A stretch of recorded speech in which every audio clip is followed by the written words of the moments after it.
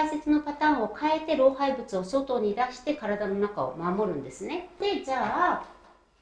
アトピーって排泄なんだよって何なのっていうと第4の4番目の排泄器官が皮膚だと私たちは思ってるんです。だから尿と便と生理の足りない部分の排泄を皮膚でする溢れですね。それがアトピー。だから皆さんが皮膚からの排泄を少なくしたいわけでしょ？アトピーを治したいわけですから。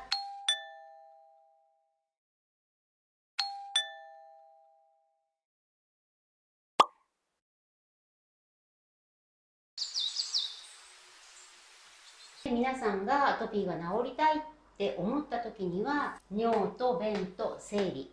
を増やしましょう。男性はね僕ひげもともと濃くないんですっていう方はスポーツして発汗量を増やして体温上がりますでしょ？運動すれば。で発汗量を増やされればいいということですね。こうやって排泄のパターンを変えていってアトピーを改善していきます。だからね薬で閉じ込めるっていうのはナンセンスなことなんですよ。だって排泄物をもう一度入れるってまるで自分の体をゴミ箱扱いしているようではないですか？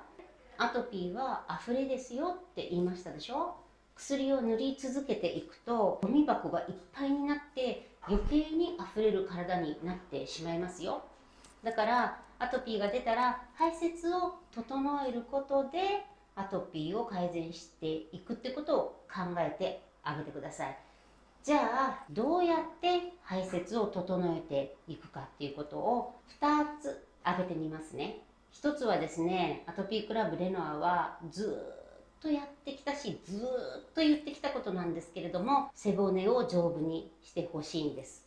これはたくさんの方のレントゲン写真を見て実際に若い子の骨粗鬆症を見てそしてその人たちが骨粗鬆症が改善していくとアトピーが表面的にもきれいになっていってその時に尿や便や生理が整ってきてるってことを見てきたから言ってることなんですね。一番やってほしいのは背骨を丈夫にしてほしいってことなんです。それは何でかっていうと私たちの背骨の中に脊椎神経っていうのが通っているんですね。この脊椎神経が各内臓とつながっていって動かしてくれてるんです。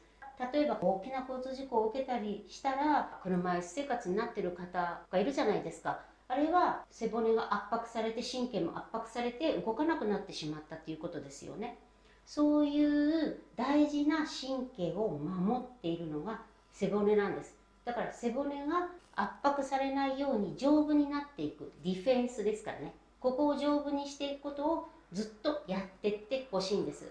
で皆さんが回復したい皮膚も背骨の中の脊椎神経から神経が指令をして新陳代謝してきれいになっていくわけですからそこの改善なくしてアトピーの根本的な改善はないと自負しています。でね背骨を丈夫にするのは材料を入れてってあげなければいけないわけですよね。それをカルシウムでやってきたんです。きちんと骨になるカルシウムを飲んでほしいんですね。そして飲んだら飲みっぱなしじゃなくてすごく運動したりカルシウム飲んでも運動してなかったらちゃんと骨に定着しないですよ。あと日光浴したり東京だったら冬場だったらもう1時間ぐらいはね当たってほしいんですね。紫外線はやっぱり害になるので防止クリームを塗ってしっかりこうお日様に当たってほしいんですね。そうするとビタミン D が形成されて骨にカルシウムが取り込まれていって丈夫な背骨ができてきます。これがまず一番最初にやってほしいんですね。どんなカルシウムを飲んでもいいわけじゃないですよ。ずっとデータを出してきましたからしっかり間違いのない骨にきちんと定着していくカルシウムを飲んでご自分の背骨を丈夫にしてみてください。